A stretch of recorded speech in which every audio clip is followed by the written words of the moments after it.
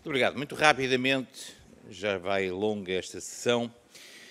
Eu, ao bocadinho, tomei boa nota das, eh, daquilo que a Sra. Ministra nos disse, no fundo, confirmando que estamos em fase de um certo experimentalismo orçamental nesta matéria da descentralização. Mas a Sra. Ministra também disse que a sua ânsia é que rapidamente estabilizássemos. A minha pergunta é quando? Qual é o prazo para passarmos a ter orçamentos normais e uma maneira normal de funcionar nas câmaras municipais? Segundo ponto, quando eu descentralizo da administração central, há coisas que passam para o município e, portanto, há coisas que deixam de estar na administração central. Isso quer dizer que há funcionários a mais ou instituições a mais, não sei. Mas o que é que tem acontecido lá na administração central?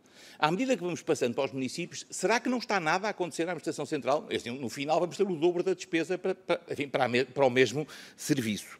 Último, eh, falou também da, importância das comissões de acompanhamento. E é verdade, locais, regionais, também há uma nacional. Reuniu no dia 20 de dezembro passado, e eu estive, aliás, nessa reunião, e ainda não fui convocado para mais nenhuma. A pergunta é: a ideia é pôr este órgão mesmo a funcionar, não é?